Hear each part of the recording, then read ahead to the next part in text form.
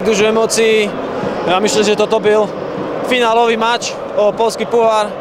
Ja myslím, že v prvej polove sme boli určite lepším zespolom na boisku. Myslím, že po gole uh, sme si uh, s protivníkom robili, čo sme chceli. Uh, držali sme pivku na našich kopačkách. Myslím, že ak by sme dali druhý gól, bolo by po zápase. Uh, hneď z kraja druhej polove sme dostali brámku a prakticky sa to dohrávalo, i keď v nastavenom čase sme mohli dať rozhodujúci gól. A bohužiaľ, penalty to je z lotérie a dneska vyhral šťastnejší.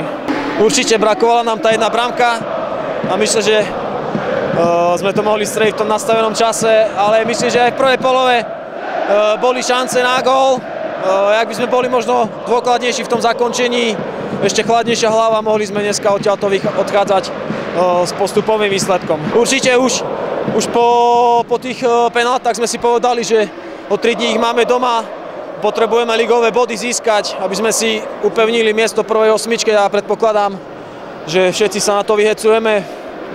Dúfam, že nás prídu podporiť výborní fanúškovia a že im oplatíme tento postup z pohára troma bodmi doma.